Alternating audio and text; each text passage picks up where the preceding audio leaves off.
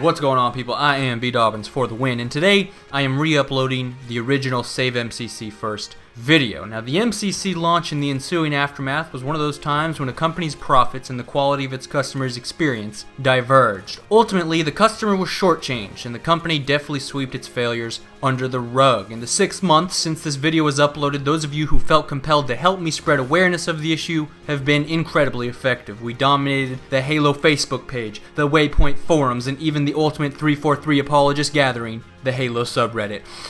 Ultimately, we must face the bitter truth that as Halo 5's launch is nearly upon us, it's clear that the MCC will most likely not receive further support or attention, and it will of course never be the game it could have been had it been handled better. A silver lining to the announcement of Halo 5's foregoing split screen may be that it inadvertently saves MCC's playlist populations, but unfortunately with the announcement of backwards compatibility, many are left wondering whether the MCC is even relevant anymore.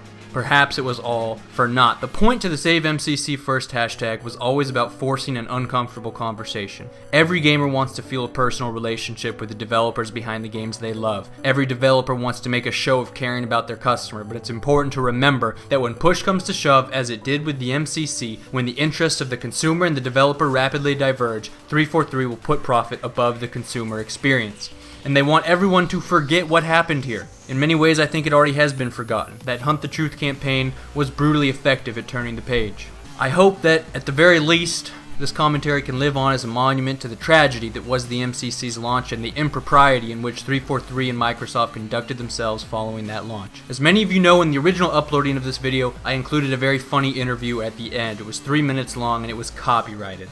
As such, the longest and most difficult video I've ever made was hijacked.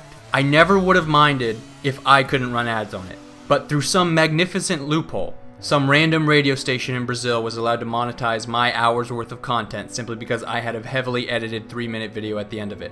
I don't mind not making money, but something about knowing that these people were reaching into my pocket and making bank off of all my hard work was pissing me off. And every time I was reminded of the video, I felt irritated. So my first instinct was to simply delete the video.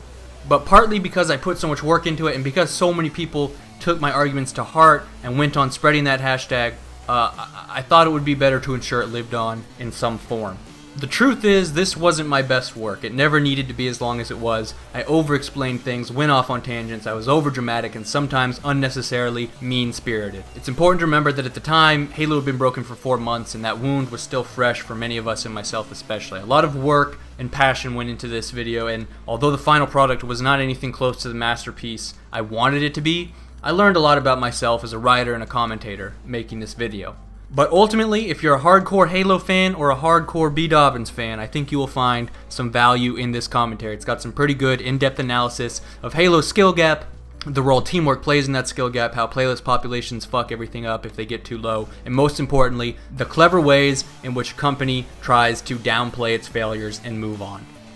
At the end of the day, it's about telling the story of the MCC's launch and how 343 shirked their responsibilities to their fans. The memory of the MCC's launch has faded, and along with it, the passions of many of the players upset by that launch. But let us never forget that in the year 2014, some fucked up shit went down, and those responsible never faced any consequences for their actions. I hope this video can live on as a monument to all their sins.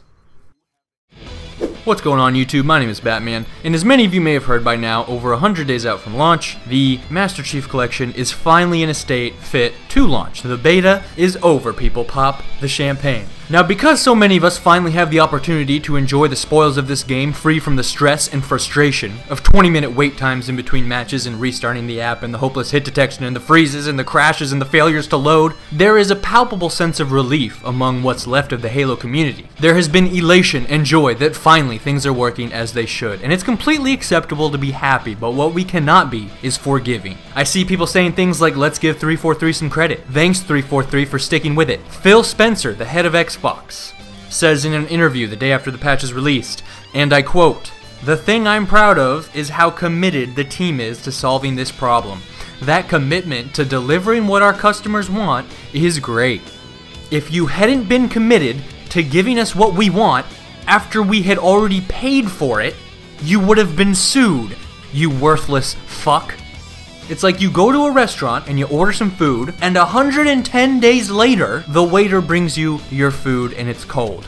Are you going to tip that waiter? Was that a satisfactory customer service experience? I'm not going to give 343 credit for finally getting their game in a launch ready state, and neither should any self respecting Halo player. And let me remind you, it's possible to love the game and be happy that you finally get to play it without forgiving 343 for their overwhelming incompetence. Now, there is a path to redemption for 343. They can earn my forgiveness, and it's been done before.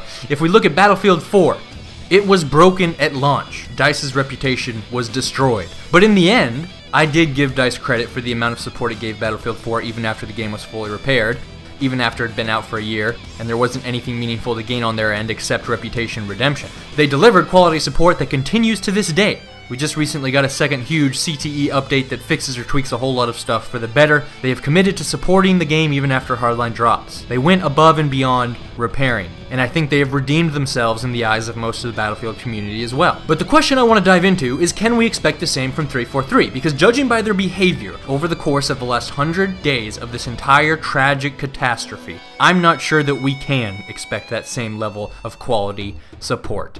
And this is an especially important question for the MCC because the nature of the launch was a million times worse than that of Battlefield 4 and has inflicted a much more severe and permanent wound. This wound is not a part of the game code and cannot be repaired through traditional methods.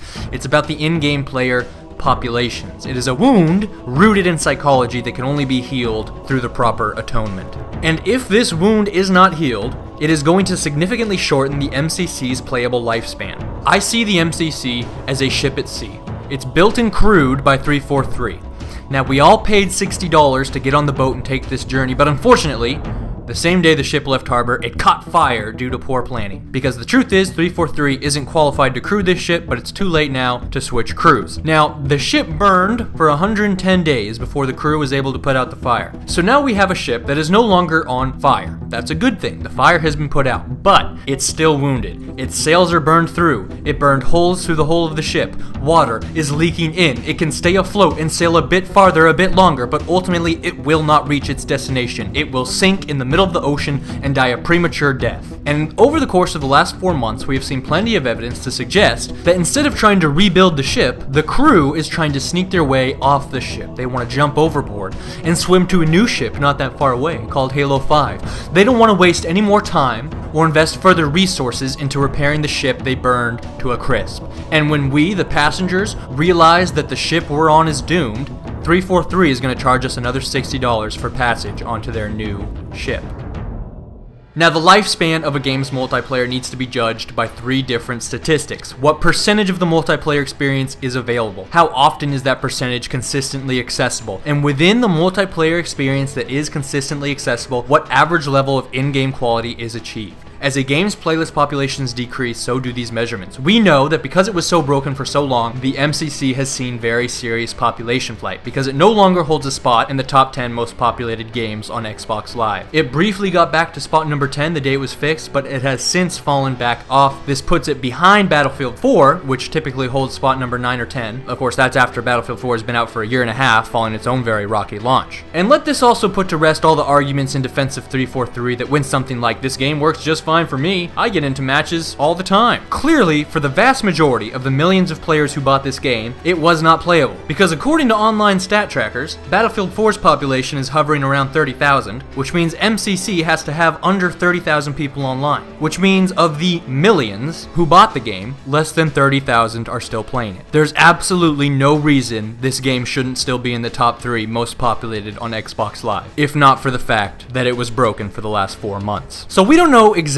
what the MCC's population counts are, because they followed the trend of many games recently in choosing not to disclose their playlist populations in a not so subtle effort to save face. But we know it has less people online than Battlefield 4. And that says a lot because Battlefield 4 has a very low player population that has already significantly limited the percentage of the multiplayer experience that the player has access to consistently. So let's assess the state of multiplayer in Battlefield 4, keeping in mind that every problem will be much worse on the MCC. Now in Battlefield 4, obliteration, defuse, squad deathmatch, air superiority, carrier assault, capture the flag, chain link. These These game modes are, for the most part, no longer a part of the game. They are not accessible to the player because there aren't enough players to fill them. The only three playlists that are consistently accessible are TDM, Conquest, and Rush, which is 3 out of 10 playlists, or roughly one third of the game. So at this point, due to a low player population, roughly two thirds of the playlists in Battlefield 4 are unavailable at this point. And that's in a game that has significantly more players online than Halo right now. And then we can dive into that even further using the second measurement. How often is that third of the game available? Well, at its peak, you know, 6 o'clock on a Friday, it's fully available to whoever's on. Hell, at peak, maybe you can even find servers for those other less popular playlists like CTF or what have you. But then, on the other side of that, if you get on late at night on a weeknight when everyone has school and work in the morning, which is unfortunately when I typically play, then you won't even have access to that third of the playlists. When I get on, I can't even find Rush or TDM servers for any of the DLC. The only DLC game mode available to me is Conquest. So I'm restricted to certain game modes and certain maps. Maybe sometimes I can play, you know, this map pack, but not on any of these game modes, or I can play this game mode, but not on any of these maps. I'm restricted from the full multiplayer experience. Now, what I could do is expand the regions in my search. So if I expand to East US, Europe, and Australia, maybe I'll find one air superiority match. But then if I play that match, it's most likely going to be negatively affected by the third measurement I was talking about, which is the level level of in-game quality because the server might not fill up all the way. You know, I see like a lot of 40 out of 64 servers these days, which means a less exciting match than originally intended by the devs. And if I'm connecting to Australia or Europe, or even in some cases the East US when I'm in West US, there's likely going to be some lag and rubber banding and bullshit deaths I don't understand, and an increased chance of lagging out of the game altogether. So all of these problems that are already taking a toll on the overall quality of Battlefield are much bigger problems on the MCC now. And they are only going to get worse as the MCC Population continues to decline. And this is a point I really cannot emphasize enough, and it's something I think we all understand, that the multiplayer experience requires a pool of multiple players to pull from. And the smaller that pool of players becomes, the less of that experience you have access to. If you get on Halo 3 on the Xbox 360, you aren't going to have access to the full multiplayer experience, because you won't have access to the majority of the playlist, because there aren't enough players to fill most of them. And what experience is left will be of a significantly lesser and often more dysfunctional quality than originally intended at launch. The ranking system system can't function properly because there aren't enough people to fill the lobbies with seven other people of your same rank. Matchmaking times are very long, and depending on the time of day, you might not be able to find a match at all. And oftentimes, the matches you do find are incredibly laggy because the only other people online were at very far distances that even a dedicated server has trouble compensating for sometimes.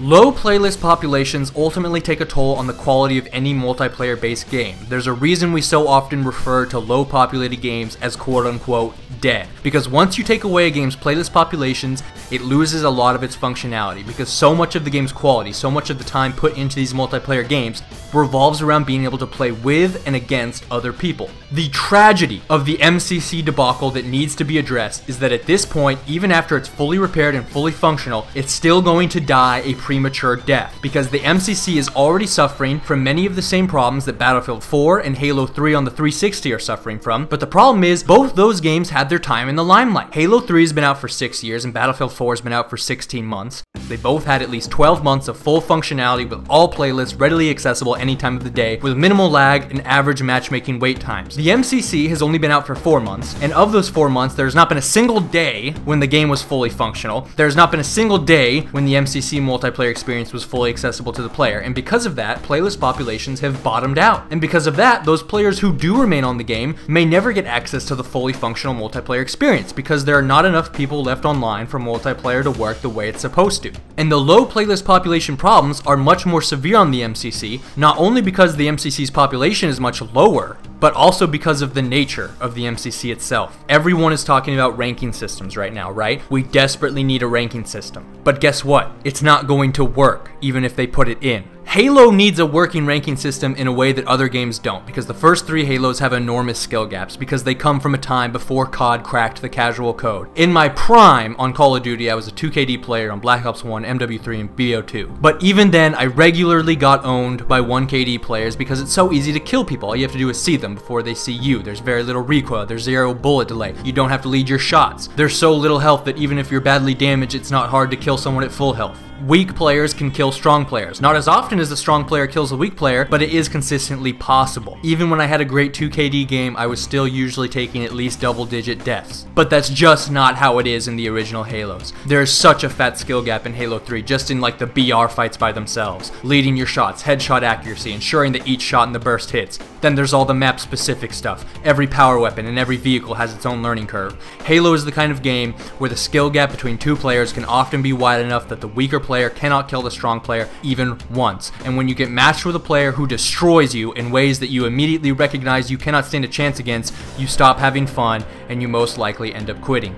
I'm featuring a guy in this montage, Tommy Koss, dropping these fat ass Kilimanjaro no scope sniper clips, right? If this guy goes up against a new player that maybe got into Halo with Halo 4 but was pretty young when Halo 3 came out and didn't play, that new player is not going to get a single kill on this guy. And the problem is that's exactly what's happening across Halo right now because there's no ranking system. But even when they implement a ranking system at this point, there won't be enough players online to consistently match everyone in the same ranking brackets. You have really experienced skilled players getting matched with weak, inexperienced, or even brand new players, and the result is a bloody massacre that infuriates the less experienced players who don't enjoy getting the shit kicked out of them, or it infuriates experienced players who get teamed up with the inexperienced players and can't carry them. And that's another one of those big things that was very different about these old Halos as compared to games these days. Nowadays, TTKs are so low that one person can hold their own against an enemy team while their own team is getting shit on. Nowadays, they forced the I into team. But in H2 or H3 Slayer, if the other guys on your team are getting steamrolled, you're gonna get steamrolled with them. You're not gonna be able to control power weapons. This isn't the kind of game where you can walk into a room and take on four bad guys by yourself like you can in COD. Once you start attacking one guy, you'll alert the other three to your position and they'll find you and kill you. Either right after you get your kill or even before, and that's just not how it is in COD or even Halo. If you start killing someone, that kill cannot be interrupted in Call of Duty. In Halo, it takes so long to kill someone that that kill can be interrupted. If they run away and one of their teammates comes to save them, it's very possible. Teamwork mattered a lot more when these original Halos were made, and because of that, your fate, the joy of the match, the in-game quality, is directly tied to the ranks of your teammates and of your enemies. Because even on the other side of things, it eventually bores the veterans who don't want to spend every match beating up on kids who seemingly can't find their joysticks and inevitably quit out halfway through the match. Because that's the other thing about games with skill gaps like this, and games in general back then before COD changed everything. It was about the competition, it was about the experience, but nowadays it's about the reward, the accomplishment.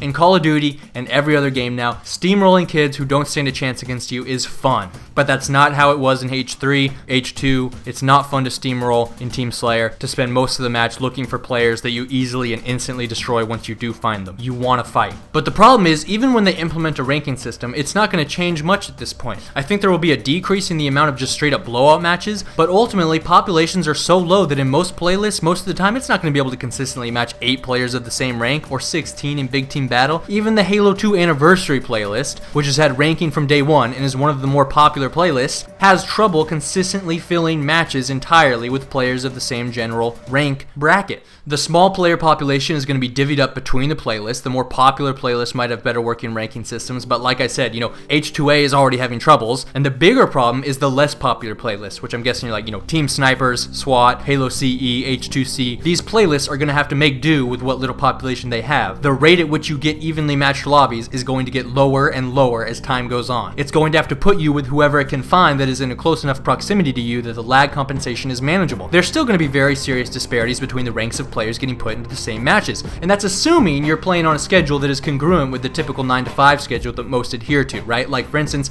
like I said, my recreational hours are usually later into the night, like around midnight. But if it's midnight on a school or work night, I'm screwed. I'm not going to be able to access most of the playlists on the MCC, and in those playlists I can access, there's still a very good chance I get put with someone who's 30 ranks above or below me. I hear everyone saying they want a ranking system, but at this point, even when they implement it, it's not going to change much unless they start consolidating playlists significantly, which would suck ass too.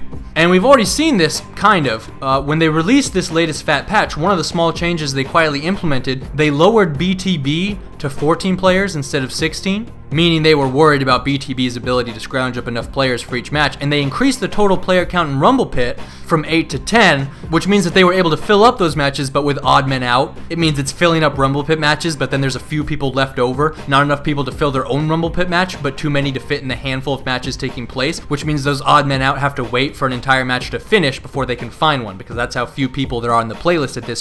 And obviously that dramatically increases wait time, so they bump it up to 10 to alleviate that problem, but there's a catch and that is that on many of the smaller Rumble Pit maps, 10 players fucks up the spawning. You have people spawning right in front of you and whatnot, on a map like Warlord or Lockout. So big team battle matches already don't get to play with full teams, and Rumble Pit has terrible spawning now because 343 is already having to make small adjustments to account for the extremely low playlist population. This is exactly what I'm talking about. The quality of the experience is being degraded. We're already seeing the symptoms. This minor change in my eyes is like a nose before pneumonia sets in and kills its host. And another part of what I suspect exacerbates the problem with the MCC is that just due to its nature, its playlist populations are going to be much more diluted than a game like Battlefield. In Battlefield, most of the players naturally gravitate towards and congregate within Rush and Conquest. In COD, it's TDM and Domination. But in the MCC, the player base is much more divided. Not only between playlists, but between entire games, right? There's a huge portion that only wants to play Halo 3. There's another portion that only wants to play H2A. There's a smaller portion that only wants to play CE. And then, of course, you have the typical divisions between teams Slay and Rumble Pit and BTB and whatnot. And that also means that as a playlist dies, players are going to be missing out on exponentially more than when a playlist dies in other games. When the squad deathmatch playlist dies in Battlefield, it's not a huge deal. Most people didn't give a shit about it, and that's why it died in the first place. But in Halo, when the Combat Evolved playlist dies out, you know, that's like 20% of the game that is no longer accessible. That's 20% that's very unique and not replicated in the other playlists, unless, of course, it's voted for in BTB or what have you. And even worse, imagine what happens if they start releasing paid DLC, which would split up the player base even further between those who own it and those who don't. This game won't even be able to survive its own DLC, assuming there even is any. I'd be surprised if they didn't have a DLC plan to begin with, but I imagine now they've probably had to scrap a lot of it because, in theory, had the game been working from the day one, the first DLC pack would have come out by now. But they had to spend that time fixing the game, and now they got to work on the free compensation, and most of the studio is still building Halo 5. So it might be that they just scrapped a bunch of the planned DLC, which is very unfortunate, but we'll probably never know the particulars of such a thing because they're not going to open up about that. But I digress. What you also have to keep in mind is that large chunks of the population still left on the MCC, and whatever fraction of that population is in your playlist, aren't necessarily going to be in your region a lot of the time. And if you get paired with those players, it's going to be very hard to maintain a consistently stable connection. A fraction of the remaining player population is in Australia. Another fraction is in the UK and West Europe. Another fraction is in Canada. Even West Coast US can run into problems connecting to East Coast US. And what's the result? Lag. And that's not something 343 can patch. Now they've gotten the Deddies up and running at this point, and to their credit, they are very high quality servers, but even then, a dedicated server can only reconcile so much distance. I'll show you an example of the kind of lag that I suspect will become more and more common as time goes on. This is post-patch. The standoff example is late at night on a school night when I typically play. The team snipers example is about 6 o'clock on a Thursday, and that's pretty high traffic time to be on. But the problem is, Team Snipers isn't an especially popular playlist just because it's kind of hardcore. We're already running into this type of lag at times when we shouldn't be. And the frequency and severity of laggy matches like this will only get worse as time goes on and the playlist population gets even lower. If I play later in the evening, I run into at least a couple noticeably laggy matches every session. And I have very good internet. I have the best package Comcast offers. Here's my speed test. This is just because at a certain point, if it's 2 in the morning on a Wednesday and the Team Snipers playlist is in the triple digits in terms of playlist population, someone playing, you know, in Australia is going to have to connect to a server off their continent most likely. The Australian players' packets are still going to be filing through the broadband cables on the bottom of the ocean to a server in the US or West Europe, while for those of us in the US or West Europe, the show must go on. And that's where you get these sort of in game player delays. Either one person gets shit on, or the entire match, everyone in the match, gets a sort of minor delay to accommodate that one person who can't keep up. And that's assuming that that kind of cross regional connection is even possible. Uh, I know it can be done in Battlefield, but my understanding is that for most Australians, they're still having a lot of trouble finding multiplayer matches in this game. And the really sad truth is that, uh, you know, Australians might never be able to play the multiplayer because there just aren't enough Australians on after four months of an unplayable game. You know, non Americans are the ones who are going to get fucked over by this the most. And I understand that at a certain point, every game inevitably has to face these problems. And following these problems, every game eventually has to die. But this is much too soon for what should have been an epic masterpiece of the ages. I suspect these examples were on the dedicated servers just because these matches were able to run all the way through while experiencing this consistent level of lag. And I feel like a peer to peer system would have lagged out of the match entirely. It wouldn't have been able to maintain that. It was really crisp and consistent lag, I'll put it that way. Uh, but we do know that not every match is playing on dedicated servers. I've seen several host migrations post patch. We noticed to a certain extent it is peer to peer, and peer to peer can run into serious problems, you know, even when everyone connecting is in your region. One way or another, low playlist populations are going to adversely affect the integrity of players' connections, hampering the overall quality of their experience. Even now that the game is fully repaired, it will continue to suffer from increasing amounts of poor hit detection, of people lagging out of matches and thus screwing the whole match up because there's no join in progress, of double animation bullshit where you think you've reloaded your gun, but oh wait, your guy has to do it again just to make sure. Now the worst part is that these problems with lag in the ranking system lead to quitting and quitting hurts Halo more than it does other games. People don't want to get stomped on, people don't want to play a laggy match, and so they quit. Quitting is a major problem now that the game is fixed, because they know they don't necessarily have to wait another hour to find another match. And quitting is killing the game. This goes back to the teamwork thing. Playing a man down hurts you so much more in Halo than it does in COD. Because in COD, you can take on four guys by yourself with the gun you spawned in with. In Halo, you just can't. What it comes down to is that shield recharge time. If you get into a gunfight and win, the enemies who you fought, his icon was went from yellow to red. His teammates saw it. They're alerted to your position. They're coming after your ass. And they're going to get there before your shields recharge. Or if your shields do recharge in time, you're going to have to take on several guys by yourself because you're playing a man down because there's nobody else there to draw their attention or fire. Maybe if you have a shotty and a sniper, but that's assuming you're really good and you're able to control both those power points, which is unlikely, it becomes much harder to win when you're playing a man down. And if you're a man down because the guy who quit did so because your team was already getting beat up on to begin with, well then you're even more screwed than you already were, and the players who didn't quit on that team recognize that and quit themselves, and then the match is over before it even reaches the halfway mark, and all eight players in the match get screwed. And in general, it's just not fun to play a 3v4. That's not how the game was intended to be played, but it seems like a majority of the matches being played right now end up with at least one person quitting and thus hurting the quality of the match for everyone else involved. And what's driving that quitting is the lack of a ranking system because people don't want to get beat up for a whole match. And the ultimate tragic irony of this whole thing is that even now that the game is fixed, matchmaking times are still going to generally be pretty long. Even now, they are much longer than they should be this early in a game's lifespan. It should be instant. It, you know, there are going to be people who say, oh, I found a match in 30 seconds. That's way too long. It should be fucking instant right now. Um, but it's not. And 20, 30 seconds isn't so bad, but pretty soon they'll be as long as they were when the game was broken. You're gonna have to wait for kids to finish the match they're already in before they can get matched with you, and they're only gonna get longer because the population is only gonna get smaller. Right now, this game is supposed to be in its prime. When the populations are already this low, what happens after Hardline and other first person shooters and other games in general start coming out, each one taking a little bite out of what little is left? And worst of all, it becomes a vicious cycle. Long matchmaking wait times, laggy matches, which quite often result in blowouts because of the huge disparities in player ranks, matches that basically die out because of people quitting. This results in a significantly degraded, unsatisfying, and frustrating experience for those players still playing, which makes them that much more likely to eventually stop playing the MCC altogether, which lowers the playlist populations even further, and thus makes those underlying problems of rank lag and wait times even worse, which lowers the playlist populations even further and makes the problems even worse, and on and on and on.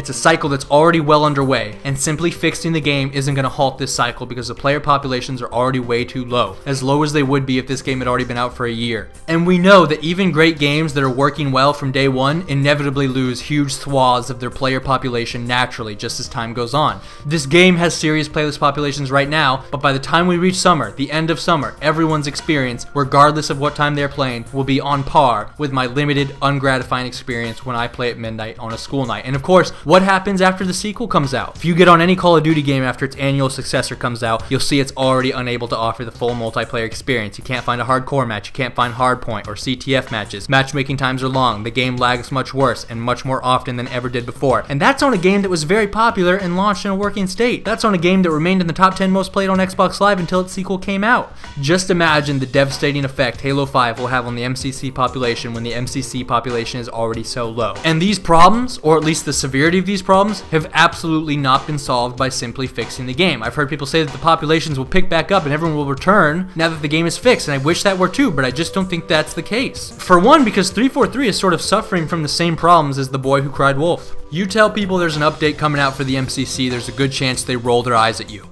There have been so many updates and patches at this point that players have put so much hope and faith in, starting with the update that went out the Friday after launch and for four months after, and none of them ever really brought this game up to a level of quality that would be acceptable for launch, over 100 days out from its launch.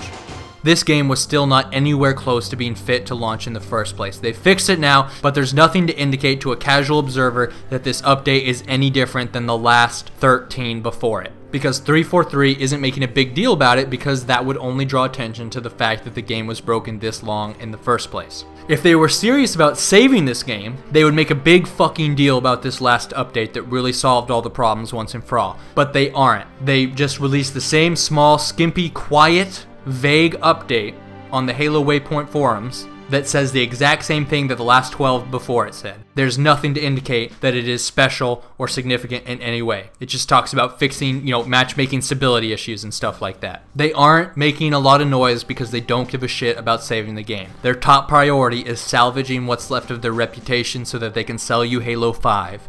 That means fixing the MCC, but not drawing attention to the fact that it needed to be fixed in the first place. There's been at least four or five separate occasions where I and many others got onto Halo thinking, man, okay, this time's gotta be the time that it works, and it doesn't. In their announcements and updates, they always say the same shit improvements to matchmaking times and stability, fixes for matchmaking functionality. These things they say were always mostly bullshit for the first 12 updates. Not that there wasn't ever any improvement whatsoever over the course of those updates. You know, if you played by yourself, you could find matches fairly consistently, but you still had to deal with long matchmaking times, still had matches that failed to load, you still had game crashes, or you might get into a game where other players' games freeze or crash, which gives you uneven teams, and because of the nature of Halo's skill gap, the team playing a man down is almost always going to lose, and because of that, the other players playing a man down just give up and quit too, and it was only a 4v4, or actually more likely a 3v3 to begin with, and so the match is over before it even really starts, and then you still had all the in-game problems like H2A and H2C. Hit detection were fucked up. You got anti-aim assist in CE. You got serious respawn bugs where you get stuck on the respawn timer for like a full minute before it respawns you.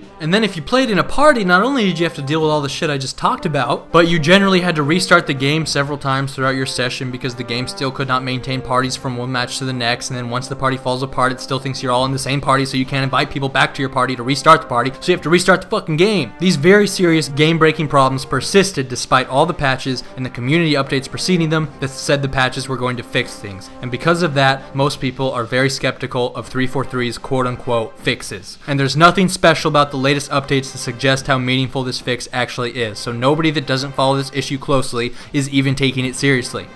Is this the player's fault for being too optimistic and thus too let down about a product working 100 days after they paid $60 for it? No, it's 343's fault for not coming out in the very beginning and being upfront with the community from the get go about the fact that it was going to be a long time before this game came out of beta. Everyone believed the patches would change things. 343 should have been honest about the fact that they wouldn't, because now nobody outside of the hardcore Halo community following this issue closely believes that this patch has changed anything. Many people think the game has been given up on entirely, which actually isn't very far from the truth. But of course, they couldn't be upfront about any of this stuff, because their primary focus is now, and has been since the beginning of this entire debacle, pushing the MCC out before Christmas in order to move MCC copies, but more importantly, Xbox Ones, taking the hit for a launch they had to have known would fail, and doing their best to aggressively limit the PR fallout from this colossal disaster, so that they are still able to move along with their Halo 5 plans as if nothing happened.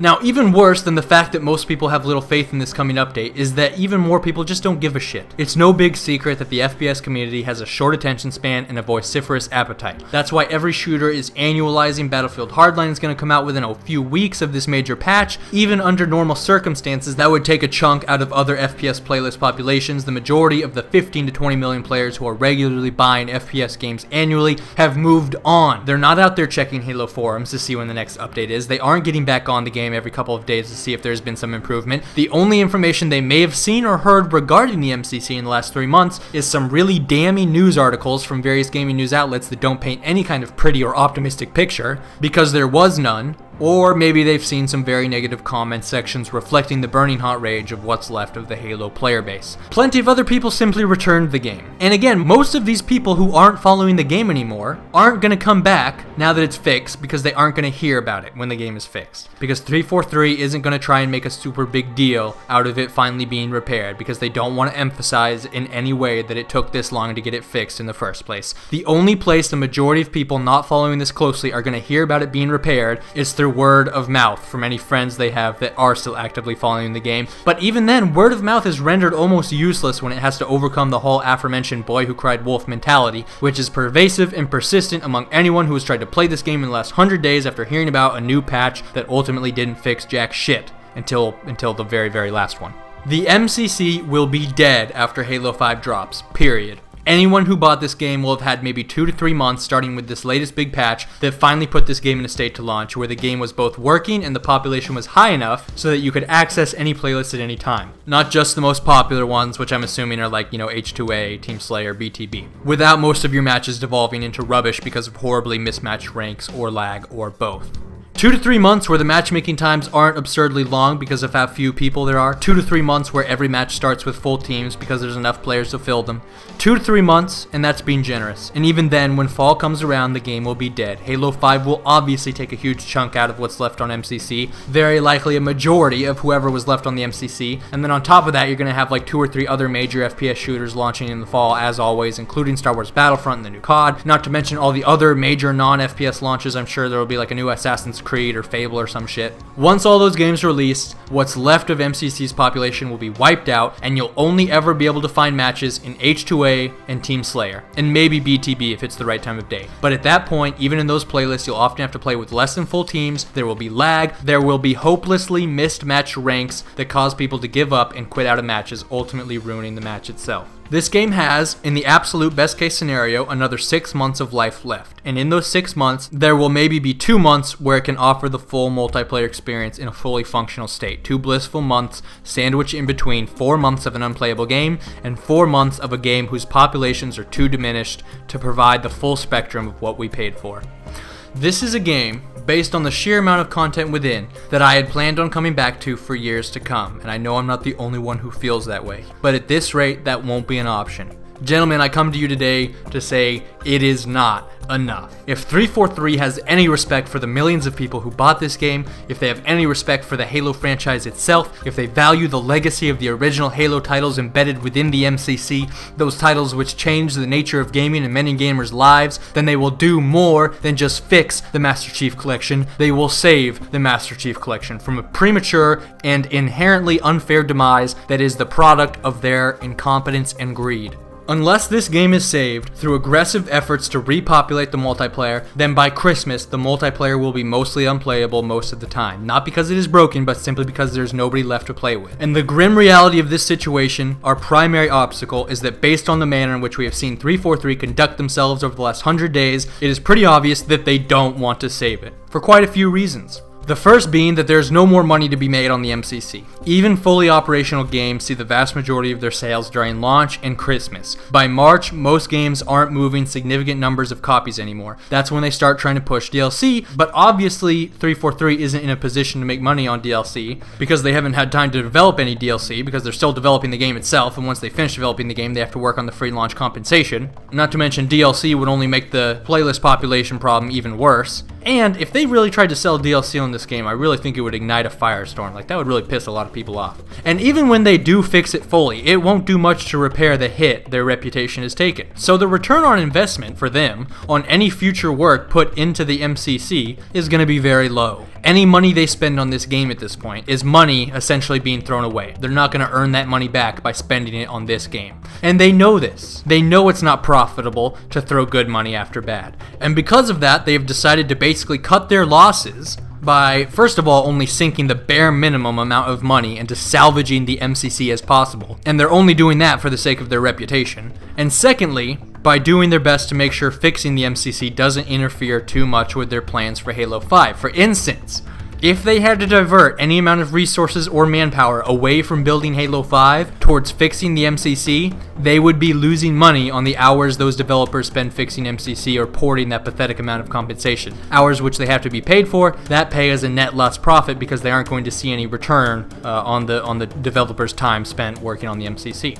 This is about cutting losses. This is about aggressively minimizing the fallout from the MCC launch. Their goal here is to lose as little money as possible to this fuck up. No doubt the failure to launch hurt their profit margins, but I guarantee you they still turned a profit on this game. And like I said, this game has seen a majority of its sales already. The only way the terrible launch could inflict any more meaningful damage on the MCC profit margins is by the amount of money spent recovering from it. Now the MCC launch could still damage the Halo 5 profit margins in two separate ways, the first being PR. Their reputation and how that calculates into people's decision to purchase Halo 5. And what I was just talking about, if the MCC were to in any way impact the marketing campaign or development of Halo 5, they don't want to have to push back their planned marketing schedule or betas or release date because of the MCC launch, because that would negatively impact sales and so they haven't. Want to see what 343 was doing while you were trying to find a match? This is in December. This is the studio head Josh Holmes, and apparently the majority of the development staff, dicking around in the parking lot, choosing teams for a Halo 5 tournament. Not one match, mind you, a tournament consisting of many matches put on by the developers, so they spent that day playing Halo 5 for the cameras. Meanwhile, the MCC is still literally unplayable at the time. We've been seeing more updates about Halo 5 than about the MCC. We hear from 343 about how they are working your feedback into Halo 5, and that just seems unjust to me. Here's a quote from the related 343 blog on Waypoint. Late last year, we gave you a first look at the future of Halo multiplayer with the release of the Halo 5 Guardians multiplayer beta. This was a huge endeavor for everyone on the Halo 5 Guardians team. The only huge endeavor they should have been concerned with in December was getting the MCC up and running, but they're not because it's important they contain the damage of the MCC launch by not letting it affect in any way their Halo 5 plans. When the truth is, all work on Halo 5 should have been put on halt on November 12, 2014. The beta should have been delayed. Three months out from launch, the MCC was still not performing at a level that would even be acceptable for said launch. 100% of studio resources and manpower manpower should have been dedicated to fixing the MCC as quickly as possible, and short of that, delivering the ODST campaign compensation as quickly as possible. Both these things have taken a very long time, and I can't help but think that this game might have even been fixed by now if they hadn't run the H5 beta as scheduled, because I'm sure the beta required a significant amount of support because they themselves called it a huge endeavor. Now, this is the part where you say, but Batman, they weren't working on MCC to begin with. It's not their fault, it's an entirely separate team. I don't give half a shit if the 343 Halo 5 5 team isn't a part of the 343 MCC team. If they can build Halo 5, I'm sure they could have helped repair some of the issues in MCC, because there has been such a wide range of very serious problems, not only with matchmaking netcode, but the UI in general, the campaigns, Forge, the in-game multiplayer. You're telling me they couldn't assist with any of that to get this game fully operational that much faster? This game was built by six different development studios. And after that, you're telling me that two teams from one development studio can't help fix it? And if they really, really just cannot help fix the game for whatever reason, then they should be working on the ODST campaign to get that compensation content out as quickly as possible for all the customers they fucked over. After Battlefield 4's messy launch, DICE halted all production on future DLC and games. That means two separate studios, both DICE LA and DICE Stockholm, including a separate team within Stockholm that had begun working on Battlefront, stopped working on whatever bullshit they were working on, and they all contributed to help fix Battlefield as quickly as possible. This says a lot, especially when you consider that compared to the catastrophe that is MCC, the Battlefield 4 launch was a walk in the park. This game could have been fixed faster but they didn't want to divert the resources. But 343 doesn't want to go that route. If they were to divert any manpower from Halo 5 to MCC, they would be losing money on the hours they have to pay the developers for fixing a game that isn't going to make any more money. For them, at this present juncture, the MCC is nothing but a burden, and they want to abandon it. They are anxious and excited for the day when they no longer have to talk about it, because this is all about cutting losses. My best guess for how they've handled this is that they had the MCC team instead of working on what would have been future paid DLC, because I'm sure there was a paid DLC plan in place. My best guess is they just canceled some paid DLC and had those guys instead work on fixing the game and then the compensation. But they have not in any way diverted anything from Halo 5. They have not diverted any resources from the Halo 5 marketing or the Halo 5 development to contribute to fixing the MCC as quickly as possible or delivering that compensation for the fucked up launch as quickly as possible. This is about cutting losses. Outside of messing up their Halo 5 schedule, the only way the MCC debacle can hurt their future profits is through PR. So they are asking, well, what is the best and more importantly, most cost effective strategy they can employ to minimize as much as possible the PR damage inflicted by the MCC so that the negative PR doesn't translate to less sales for Halo 5? We know what answer they came up with. And that is basically to pretend that the MCC never existed. The MCC has been defined by its launch, and they can't change that. They want people to stop paying attention to the MCC. They want people to forget about the MCC. They absolutely do not want people talking about the MCC. They want to move on as quickly as possible, and that's why they haven't stopped aggressively trying to hype Halo 5. Their ultimate hope is that by the time Halo 5 launches, nobody will be talking about the MCC, and as many people as possible will have forgotten about the terrible launch. So how do they go about this? Step 1 is for 343 themselves to to talk about the game as little as possible, and that's what they did. That's the reason they were silent 25 days out of every month. It went from silence one week in November, to two in December, to three in January, to three and a half in February. In that same time, they've posted dozens and dozens of videos and updates about Halo 5. They have that entire, again, like I just said, they have that entire series chronicling the development of Halo 5 on their YouTube channel. Meanwhile, everyone who was still holding out for hope for the MCC was waiting anxiously and desperately for any sort of information about when the next update would arrive and what went wrong in the first place. And we got nothing but silence for the most part, and those few updates that we did get were stupidly vague. Most of them provide so little information it defeats the entire purpose of the update itself. They're distancing themselves themselves from the issue slowly and steadily. They are letting people forget about it. By the time Halo 5 comes out, there will have been all these other game releases. Kids will have been through an entire school year. We'll have all been through another year in the era of super ADD social networking, where we're absorbing so much information every day it's hard to keep track of what happened last month, much less last year.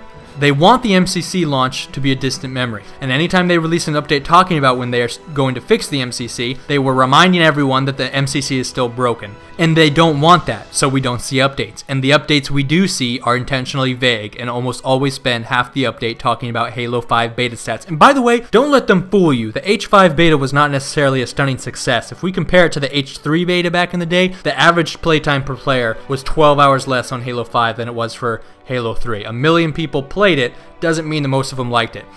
Now, I also think the strategy of silence is why they canceled the CU beta, right? They were going to beta test the huge uh, update that came out on March 4th that ultimately fixed the game, similar to what Battlefield did with the CTE, but they canned that idea because they said the, the beta was going to slow things down so they skipped it to get the update out faster. But that doesn't make sense to me. The entire point to letting a large pool of players beta test something is to speed the testing process up. I'm skeptical that skipping that step sped the process up by much. In fact, I think this might be why ultimately the fix was delayed, because the update had to get tested by someone, and I guarantee you it takes a lot longer for a small team of developers to test everything than it would a large pool of players. And obviously, they completely missed the February deadline that they set, and when they originally announced that February deadline, it was when they were still planning to go ahead with the CU beta. They were confident they could hit that deadline with the beta, and then they missed that deadline by about a week. I think it's very possible that the reason they missed their deadline is because the testing took much longer than originally planned, because they decided it would be much safer from a PR standpoint to test the update in private, where they couldn't get laughed at for their incompetence. Because it was very bad PR, as the line goes. They were beta testing the game over 100 days out from launch, right? You saw comments of that nature everywhere with lots of upvotes across Reddit, YouTube, Facebook when they originally announced the CU beta. So they pulled the beta to save face, but at the cost of the MCC itself. Either that, or setting the end of February as the update's release date was just the same over-optimistic incompetence that led them to launch this game in the first place.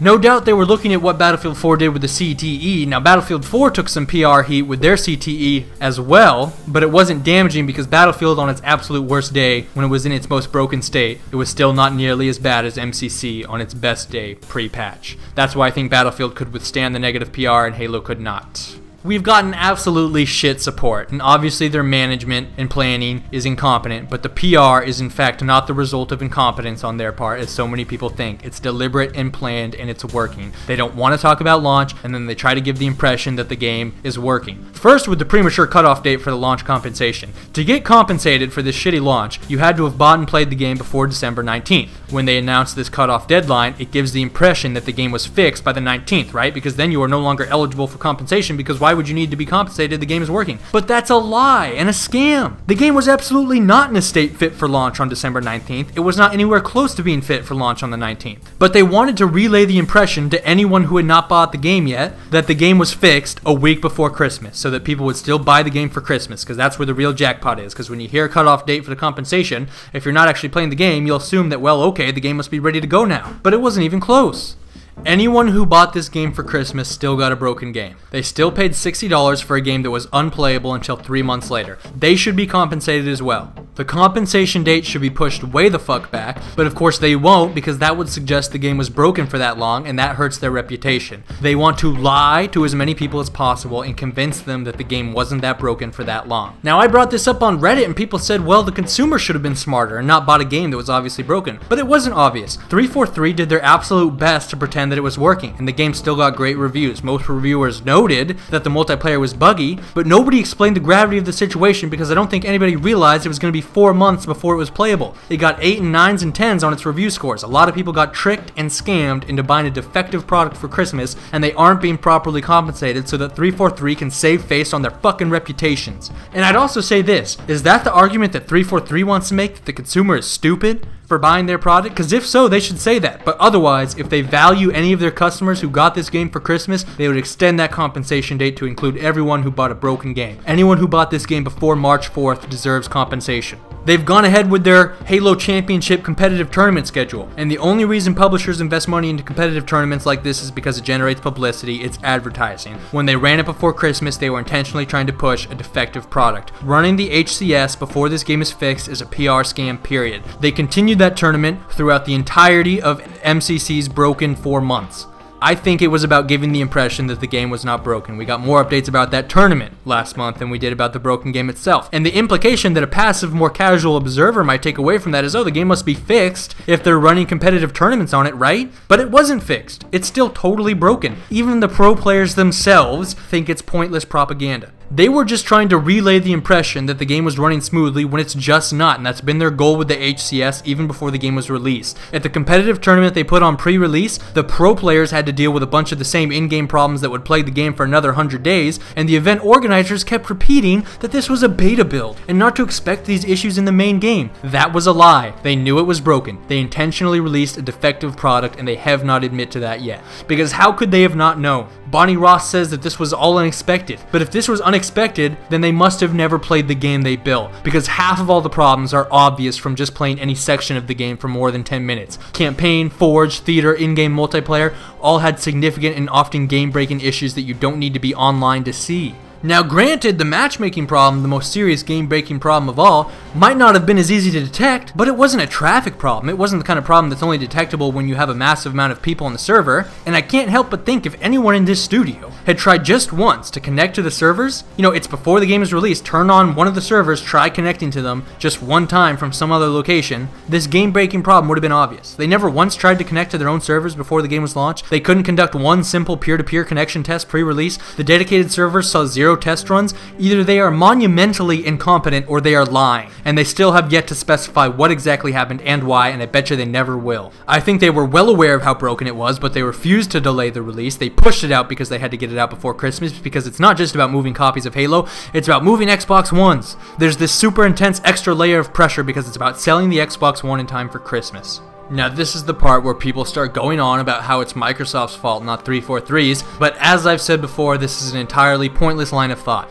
343 Industries is not a third-party developer that signed a contract with Microsoft. It is a department within Microsoft. 343 Industries is a more consumer-friendly name for the Microsoft Game Development Department. If you were pissed off about the Xbox One back in the day, did you sit around trying to calm people down by saying, hey, don't blame the people who built the Xbox One, it's Microsoft's fault for making them do that. No, you didn't, because you'd sound like a fucking idiot. And guess what? Because we all stood together and took a stand against something we didn't approve of, we accomplished meaningful change. Microsoft reversed its policies, and that's exactly what we're trying to do now. If someone punches you in the face, do you try to defend the hand because the brain was calling the shots? No, because that would be silly. If a new Windows operating system comes out and it sucks ass and sets everybody's computers on fire, do we sit around and say, hey, don't blame the people who built this program, it's Microsoft's fault? No, because that would be silly. 343 is Microsoft and Microsoft is 343. They are one and the same. They will never, and I cannot emphasize this enough, they will never, ever be separated. Yes, this fuck up was most likely driven by Microsoft wanting to move Xbox Ones, but there's nothing to gain for yourself or for the individuals you don't know working at 343 by trying to defend the honor of these complete strangers. It serves no purpose. It accomplishes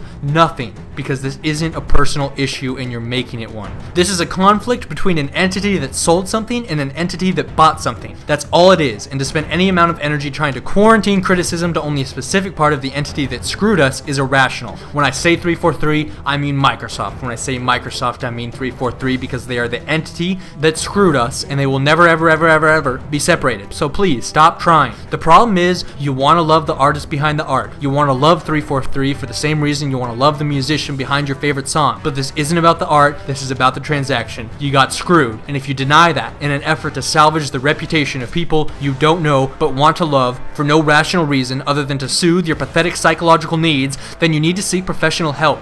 These are irrational and pointless attempts to protect a flawed psychology from the grim reality that 343 cannot be blameless in this. That is the kind of mentality that lets tyrants rise. It's the type of behavior that lets people get away with acting like assholes, and that's exactly what's going on now. I know that mentality because when I see it in other people, I take advantage of it. I use them and I rob them, and when I'm done, I discard them because they are less than people. They are closer to inanimate objects with how gullible and easily manipulated they are. And that's exactly what's happening to you when you try to paint Microsoft as the boogeyman and spare the devs at 343 whose names you don't even know. Don't be that guy. And let us not forget that 343 are not the artists behind the art in this particular situation. The artists behind the best parts of the MCC are no longer part of Microsoft. They've moved on. This is about saving the art itself because it is threatened by the collective incompetence and greed of Microsoft and the usurpers 343, which are of course the same entity to begin with. They knew from the beginning that it wasn't going to be a smooth ride, but they knew they had to go through with it because they had to sell MCC, they had to sell Xbox Ones, and of course they had to sell Halo 5 in order to sell Xbox Ones next year as well. And if they had pushed back the MCC release date like they should have, then they would have been releasing it like six months before Halo 5, and then people would still be playing MCC when they're supposed to be moving on to Halo 5, and it would disrupt their whole plan for years to come. This is about planned obsolescence. They had to sell you MCC early enough, even though it was broken, so that it wouldn't compete compete with Halo 5. The entire strategy right now on their end is to ensure that the MCC launch does not disrupt their plans in any significant way. Their goal is to pull this heist off without taking any significant damage and letting the consumer bear the consequences of their incompetent, greed-driven failure.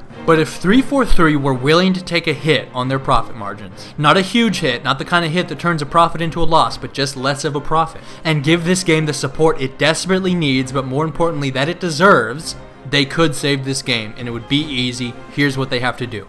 They need to extend the date for eligibility for the free launch compensation. There's a substantial chunk of the player base who got this game for Christmas or who got this game in January and February when it was still in a state not fit for launch and barely playable in parties. A basic sense of decency suggests these players are also entitled to some sort of compensation, but more importantly, if they receive the free compensation, they have the game, but they haven't played in a long time, they probably haven't heard that it's been fixed, and if they have, they're probably skeptical of what fixed means. Well, that's another huge chunk of players who will be incentivized to get on and repopulate if they hear there's a huge free content update. Nothing brings people back like free shit. The cutoff date for the compensation eligibility should be March 4th, with this last huge patch dropped, because the game was not in a working, ready to launch state before then. And I consider the content within the compensation a slap in the fucking face. They didn't even include Firefight, which was like the coolest part of ODST, and frankly, I'm not that excited about the ODST campaign. I mean, maybe I'm in the minority here. Yes, it was a good campaign. I'm glad it's coming to the MCC, but my level of excitement for it does not even come close to matching the level of frustration and disappointment I've experienced with the MCC. And I'm skeptical of how effective this is going to be at bringing people back because I don't think it sparked the kind of widespread excitement and anticipation this game needs. The thing that made the Halo 1 anniversary and Halo 2 anniversary campaigns so exciting was that those campaigns took place on the original Xbox. Most people don't still have their original Xboxes. Many people didn't even have access to those first two campaigns for years, and getting to relive your childhood in HD is awesome. But with the Halo 3 and Halo 4 and ODST, I still have those games for the 360. I've been able to access those playlists at any time since I bought them. Why should I be that excited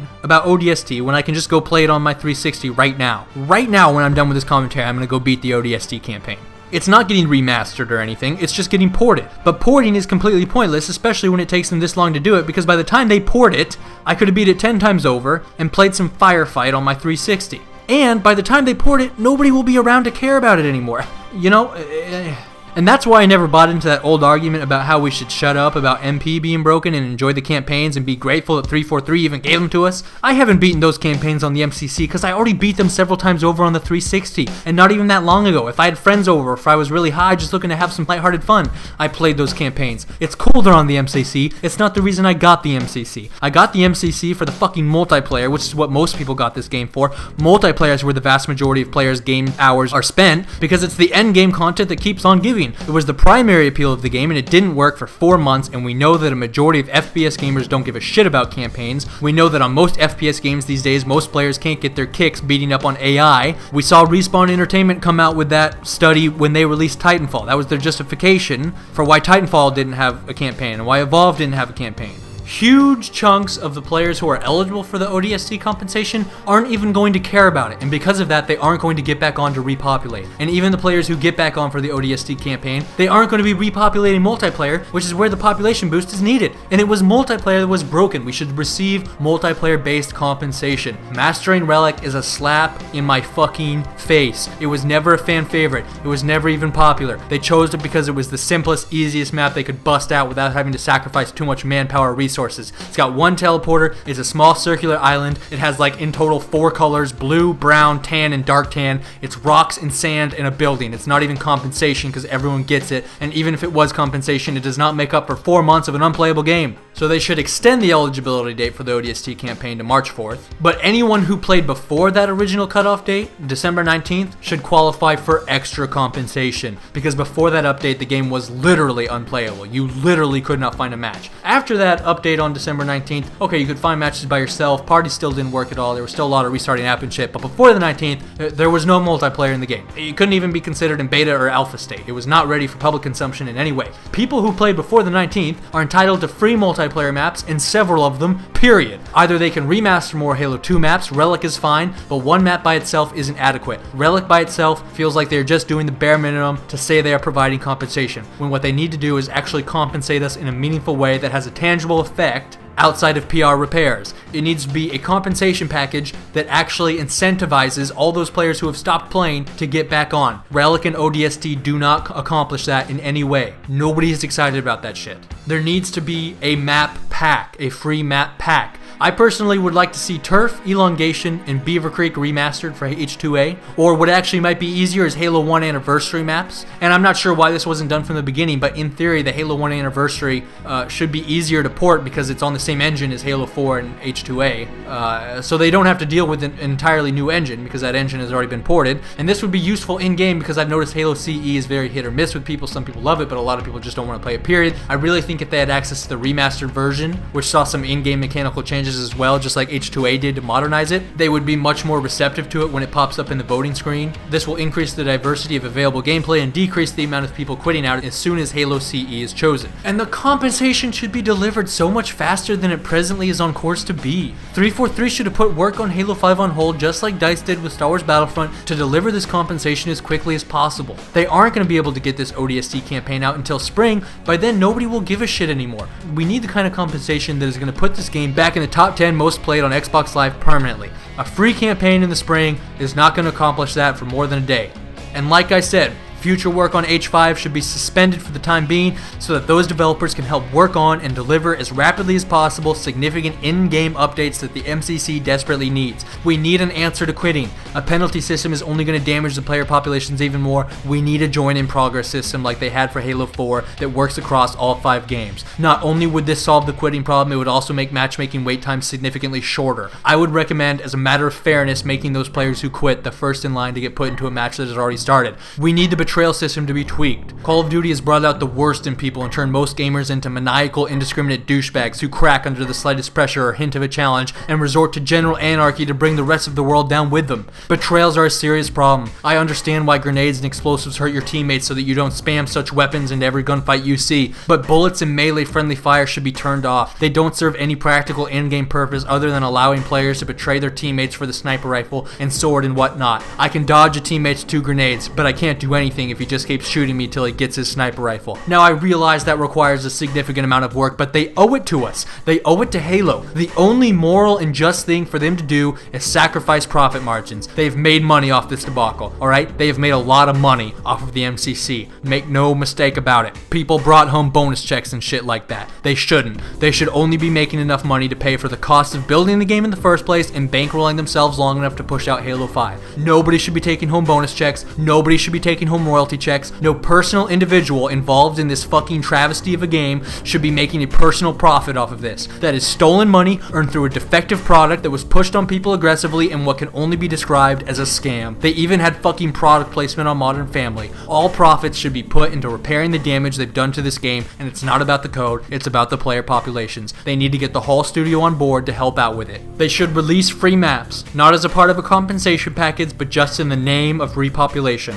That's what the old Halos used to do all the time. When player populations got low, they released free maps to maintain a decent level of population, because nothing brings people back like free shit. Halo 3 had several free maps. Halo Reach had dozens of free maps. The MCC should follow suit and release a significant amount of free maps. In fact, I think they should release Halo Reach maps. This would bring everyone back for at least a day, and if they all come back for a day, I'm confident that the beauty of Halo gameplay will retain enough of them to keep the game alive for a while afterwards. Halo Reach would be easier to port for the same reasons I was talking about with Halo 1 Anniversary. The engine is already there, and half of Reach maps were just Forge creations to begin with it needs to be free and it needs to be done now. Any paid DLC map packs would be the ultimate slap in the face to everyone who bought this game because paid DLC would further separate and dilute the players' populations between DLC owners and vanilla players, and that will kill this game exponentially faster just so 343 can make more money. Release Forge maps on the MCC, release for free like a hundred community built Forge maps, and make a big fucking deal about it so people actually hear about it because they haven't heard enough to believe the MCC is fixed yet, and that's on you, 343. Also, we need some serious adjustments adjustments to the playlist and map voting process.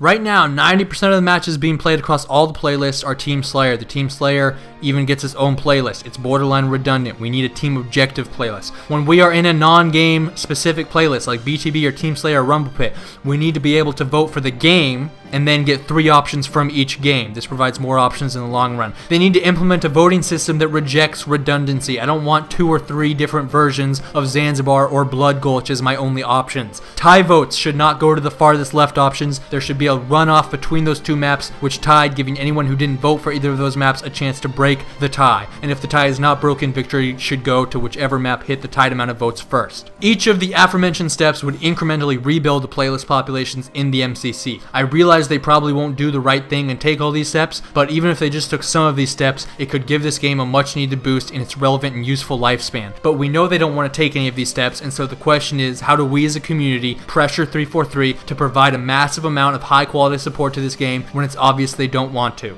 I thought I would bitch my way out, mix things up a bit. When we joined the Halo community, we took an oath. According to our station, all without exception on the blood of our fathers and sons, to uphold Halo. Even to our dying breath. Those who break this oath are heretics, worthy of neither pity nor mercy. Even now they use the Lord's creation to broadcast their lies. We shall grind them into dust. 343 community managers, staggered press releases. They outnumber us 3 to 1. Then it is an even fight. Fire at will, burn their mongrel hides. We must stake this fight exactly where they don't want it on Halo 5. We must reject any and all Halo 5 advertisements until 343 brings the MCC back from the abyss. Anytime you see a Halo 5 trailer, a Halo 5 news article, a development diary, a Halo 5 in studio tournament, they will scream, Buy our game before it comes out, and you must whisper, No. Save MCC first. That's the tagline. That's the hashtag. I humbly encourage you to reply with in every tweet, video, and news article designed to sell Halo 5. Do not mention me, do not post links to my channel or even this video. Post the hashtag, and if you feel necessary, give a quick TLDR of the video by explaining that the MCC's playlist populations have been wiped out by the four month long debacle of a failed launch driven by 343's incompetence, and that in a few short months, these playlist populations problems will hurt the game even worse than any broken code ever could, and that if they fail to save the game, then they never really delivered it in the first place. Save MCC first. We cannot convince people not to buy Halo 5, I'm under no illusions about this, but negative publicity can significantly damage their efforts to convince people to buy Halo 5. We can damage their ability to advertise effectively. And if this threat grows large enough, if we can throw a wrench in their plans, they will give in to our demands in order to save the franchise whose sole purpose is to move Xbox Ones. Saving the MCC does not have to hurt Halo 5. Saving the MCC can only help Halo as a franchise. The only thing our efforts can hurt are their profit margins. The more money they have to spend on saving the MCC, the less they get to take home to mama. I didn't hate Halo 5, I'm not out to try and undercut the game itself, but the transition from MCC to Halo 5, the act of sweeping the MCC and the now wounded Halo legacy under the bed where it can die, while the rest of the world moves on with future super shiny Call of Halo Duty annual releases. That transition is well underway, and anyone who truly loves Halo should fear this outcome. I don't give a shit about their profit margins, and neither should you. We have everything to gain and nothing to lose. Not one thing to lose by sticking up for the MCC. True support of a franchise means tough love. If you had a friend who was tweaked out on crack and on a crack binge crashed his car into a tree and the tree fell and crushed a kitten, would you pat him on the back and say, Better luck next time I support you all the way, here's $60 so you can get some more crack? Or would you say, Hey, maybe you should lay off the crack and drive safer next time? 343 being your friend the crackhead, the car being the MCC, the tree being the Halo legacy, the kitten being the Halo community. We need to make the prospect of abandoning the MCC more damaging to their reputation than not abandoning it. They have fixed the MCC, but now they need to save it. Otherwise, what was the point of fixing it in the first place? And ultimately, if this is about selling the Xbox, a financial sacrifice to restore the reputation of 343 and redeem Halo will go a long ways towards bringing more people onto the Xbox in the future. Saving MCC will benefit everyone on both sides of the issue in the long run. Abandoning it for Halo 5 is the same kind of short term thinking that got us into this mess in the first place. We have to draw the line in the sand here. If 343 pulls off this heist and moves on to Halo 5, and we all forget about how terrible this launch and the last four months have been, then all is lost because every developer and publisher will look at how masterfully 343's PR people handled this situation. They will take notes and they will be confident that they can release a game in any state at any time and contain the damage in such a way that it doesn't hurt their profits as much as it would have had they waited to release until after the holidays. The future of gaming itself is at stake here. Let our unborn children know that on this day, we took a stand in the name of gamers everywhere and for generations to come in the name of Halo and all that is good and just in this hobby that defines us. If you support the cause, please rate and favorite the video. The For the Win query of the day is that now that the entire launch debacle is over, what was your single most frustrating experience on the MCC in the last four months pre-patch? And also, what updates or changes would you like to see to the MCC now that it is repaired? I want to give a big thanks to my boy Tommy Kost for providing all those epic ass Halo clips you saw earlier on in the montage. His link is in the description. Be sure to check it out. And before you go, I wanted to share a clip from this 343 interview with you that I think says a lot about 343 management and the direction they are taking this series in. In retrospect, it's some pretty explosive stuff. Be sure to check it out. Thanks for watching. This is Batman, signing out.